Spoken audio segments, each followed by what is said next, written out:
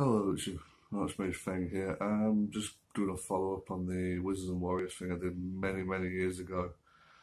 Um, sort of a conclusion type thing, really. Ah.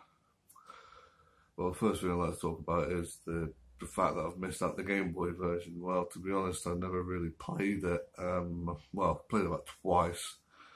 Never really enjoyed it. It's sort of like the first Wizards and Warriors, but if you take out all the magical items and half the levels out and make it a little bit more difficult and that's the game really. It wasn't really appealing for me. It was something to play on the long travels that I would have sitting in the back of my mother's car, but apart from that, it wasn't really a game I would play as much as I would play the Nintendo versions of. Um, so that's the reason why I haven't really covered that.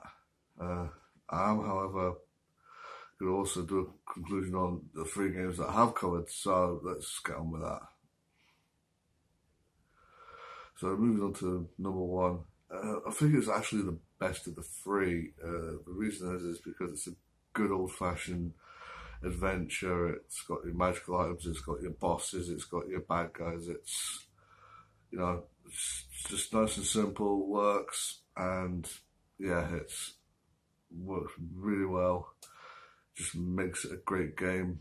Uh, if anything, I suppose that Infinite Continues is a bit annoying, and uh, the flying enemies were a bit annoying, and maybe the fact that the knight guard and the the door to the next level to, to the boss level was a bit thinking. I mean, if you're a knight, wouldn't you just duel the other knight? Uh, but you know, all in all, it's a solid game and I like it.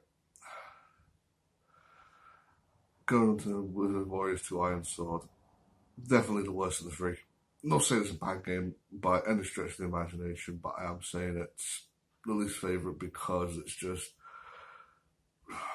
it's just like copy and paste done badly, if that makes sense. Um, it just, it's fight the elements, which has been done to which has been done to death in most adventure games, most RPGs has been done to death, and on top of that, it's the the spell scrolls you get are, and it's just rinse and repeat. It's get this item to get to the next part of the level, and get the spell to defeat the elemental fiend, and then same thing, but for the next same thing for the next level, same blah blah blah blah. And then finally you get to Icefire Mountain and you think, okay, well I've got a few continues, I might be able to do this, and suddenly just take the continues after you, like a, like it's just like, yeah, we don't want you to win this. Uh, I found that, well, I found that cheap to be honest, and it, yeah, it's just the worst of the three, and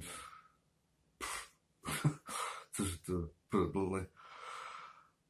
I'm to lose the Warriors 3 this would have been my favourite game, except for one thing lack of enemies and lack of bosses. What I mean is, you can count the bosses on one hand. You've got the dude guard in the underworld, which you can't defeat until you've got the level 3 knight's ability anyway. You've got the monster guard and the thief statues, you've got the worm monster guard and the wizard statues, you've got the knight guard and the no statues, you've got the three-headed dragon, and you've got Malkil at the end. That's it. Twice as many bosses in the first Wizard Warriors. The gold stuff was good though.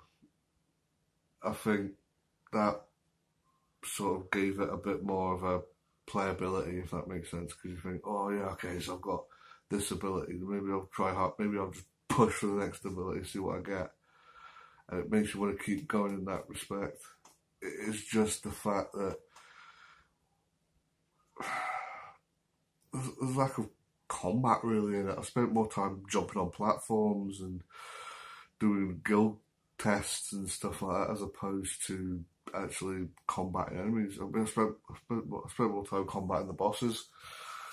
So I found that to be again, not a bad game. In fact, a terrific game, especially with the Guild Quest, because that's what keeps you going and keeps you wanting to play the game because you want to get the next statue and you want to get do the next test and you want to get the next ability just to see what you can do.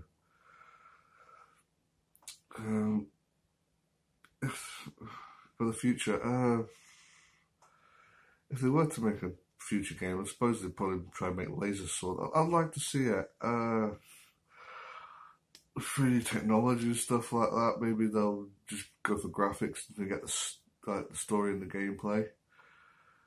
Although there wasn't really much gameplay. I mean, let's be honest. When we played as Kuros and he's swinging that sword about, it looked, he looked like he was having a fit.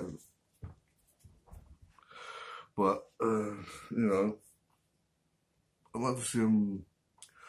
I'd like to see Wizard do like Wizard Warriors One, but with like guild stuff as side quests. So you can play as like a wizard and a thief and all that, and just tackle the game differently. Uh, it doesn't have to be an RPG. It can still be an adventure game and still have that uh, mechanic in there. Uh, with Laser Sword though, I'm, it sounds weird, but I'd like to see like a cyberpunkish style to it. You know, because at the end, Wizard Warriors 3, yeah, spoiler 20 year old game, but Wizard Warriors 3, you know, they go in the future and maybe like Mako's got like 10 years before Kuros, and next thing you know, he's the head of a big mega corporation. Kuros is and that has no clue what's going on and has to, you know, know, relearn abilities and stuff like that. And you know, fight this fight this, bring this evil corporation to its knees. And stuff. I don't know. I think that would be cool. And although space opera would be good as well, but I don't know why. I'd just love to see it like a cyberpunk setting for some reason. Maybe I'm just mad.